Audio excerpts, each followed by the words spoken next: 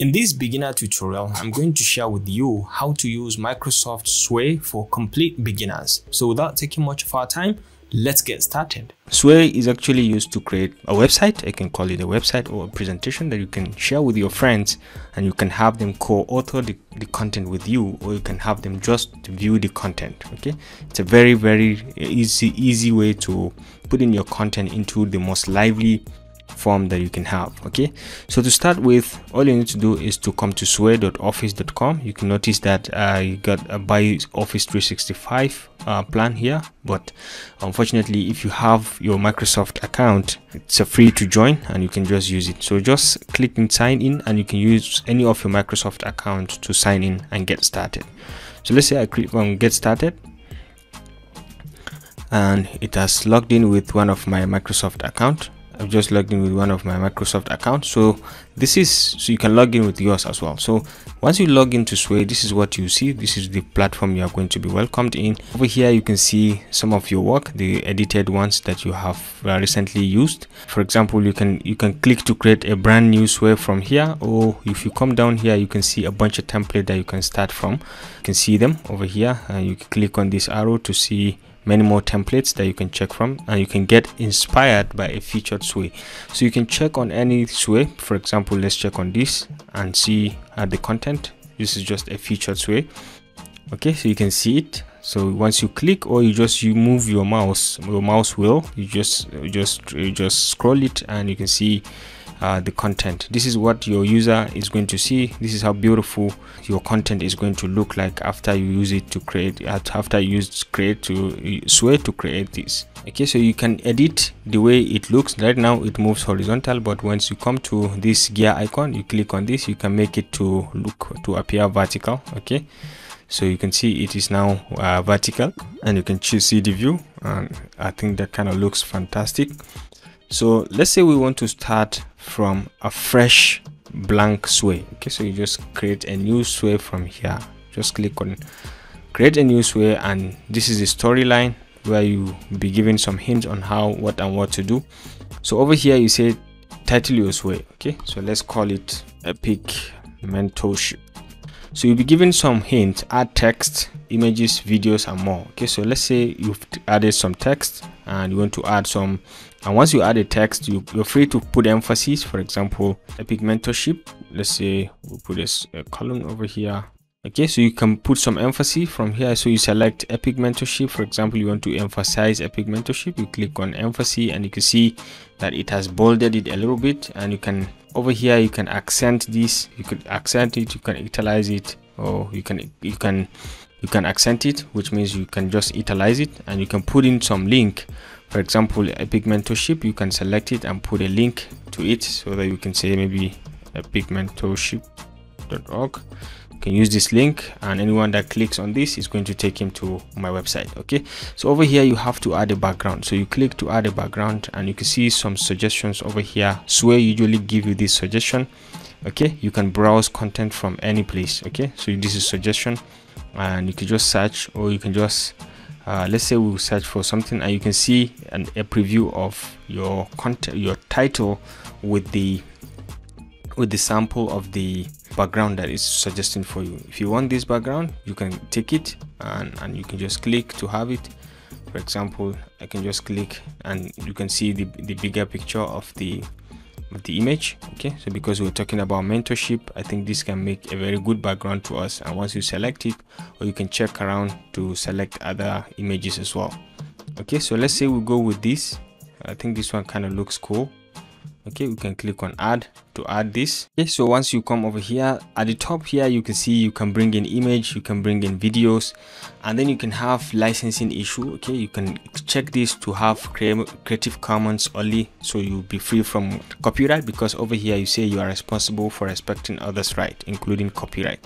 So you can check this to include uh, creative commons so images that are free to use. So let's say we take on this and we click on insert to add it. So let's say we take on this and we click on insert to add it as our image. We can close. We can click on this to add some more content. So over here let's say we we want to add a heading.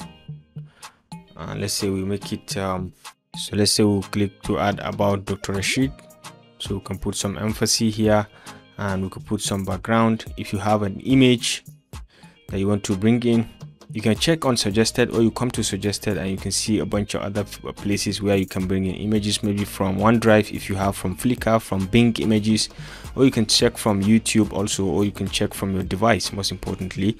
So let's say we are checking from my device and we want to check from here and we want to take this photo okay? So we'll take this photo and we'll just bring it in okay? And over here you're free to check the details of the photo okay? You can see it okay you can do quite a lot with this. You can emphasize or you can show focus point on the picture. For example you select the picture and you see a preview of it. This is how it's going to look like on the picture on the computer. Okay and this is how it's going to look like on the phone. But then when you want to show the uh, some focus point you're free to just click to showcase the uh, focus point. Even though okay you can see it now coming up. Okay so you have your the full area so your picture can kind of look much more professional and you're free to drag and drop the content so that you you will kind of centralize it to make it to show the areas you want to capture and you can see the image showcasing it uh, kind of kind of cool okay? I think it's kind of looking uh, much better now okay? So if you want to take in the entire picture you can just take on this. So it will take the entire picture. But right now i think this kind of looks cool uh, looking at the preview over here that you have okay so you close this and you finish with the background. You can minimize this and over here now you can bring in other things. For example you can you can bring in come to media and you can see you want to add a video. And let's say on the suggested i want to bring in a video from my youtube channel. And you can see these are videos from my channel. You're free to search from for anyone. And let's say we want to take on this one and we just add it directly okay so this has just added it. You can put some text. Let's say yes so how to use google my maps. You can just emphasize it a little bit and you can put on other other text as well if you want.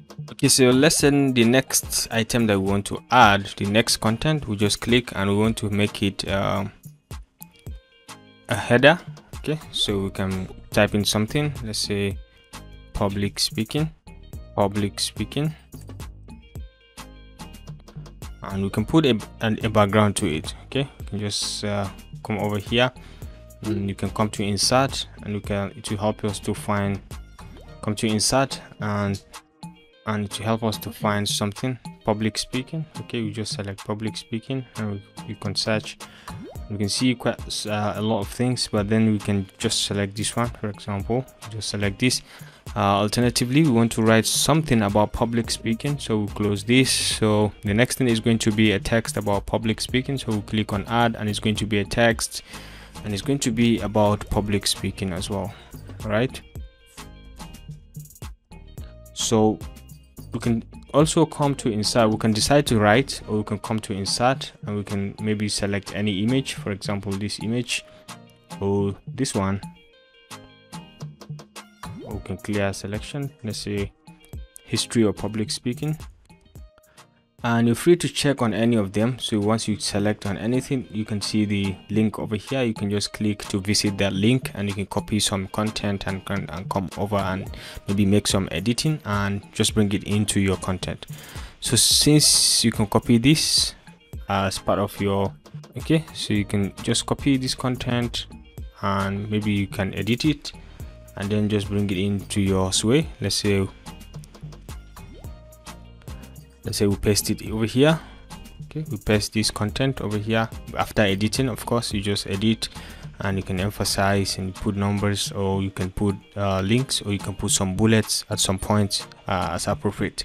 So once you're done you're satisfied with it you can have a look at the design from here. You can just click to see the design how your content is going to look like and you can see it by just moving your mouse you can see uh, from the beginning okay? This is epic mentorship clearing your ideas. This is just the first style.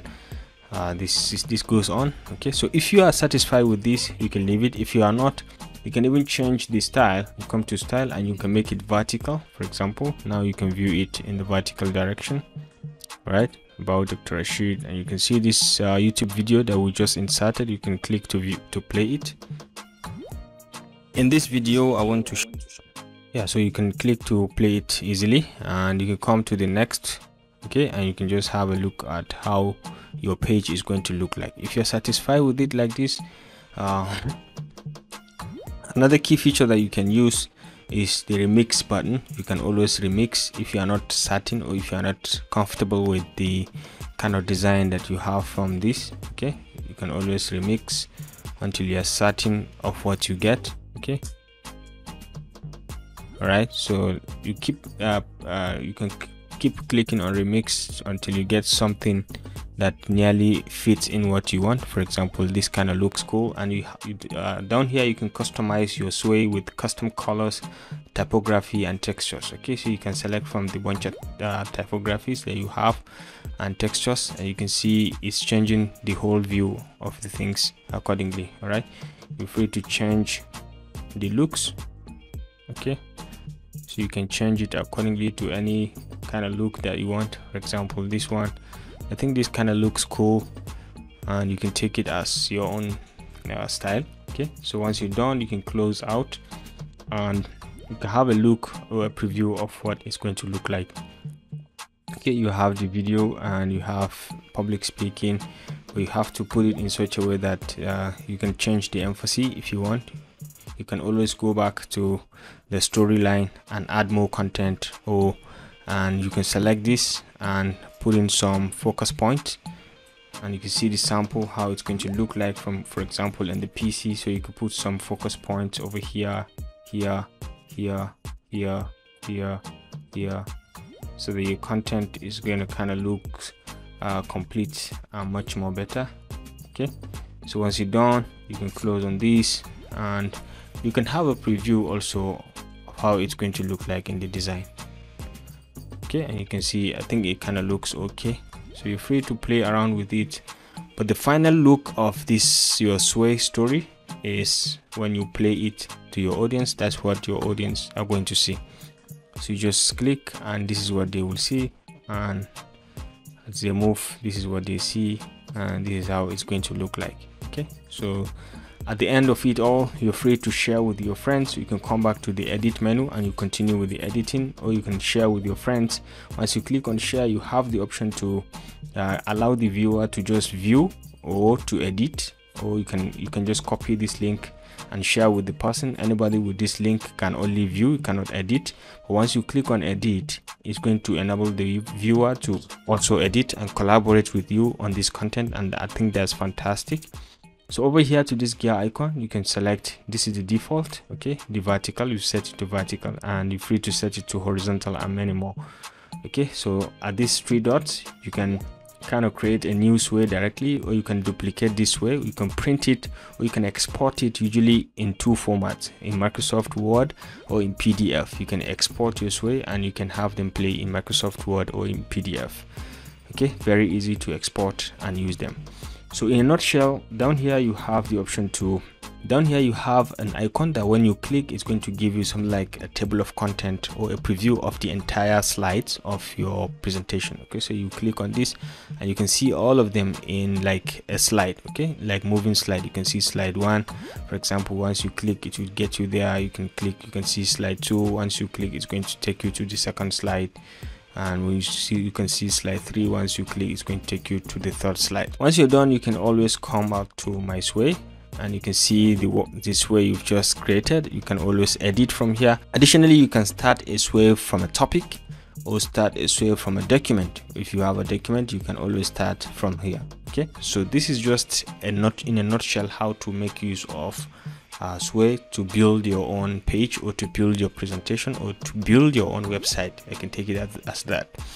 Okay ladies and gentlemen if you enjoyed this video please remember to give it a thumbs up and don't forget to always hit the subscribe and notification buttons to stay connected to this channel for more of our very very useful videos. I'll see you in my next video